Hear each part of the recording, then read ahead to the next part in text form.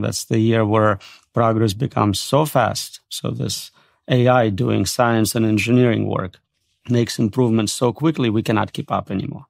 That's the definition of singularity, point beyond which we cannot see, understand, predict.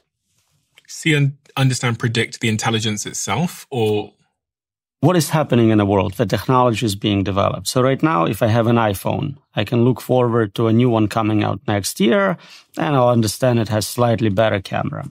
Imagine now this process of researching and developing this phone is automated.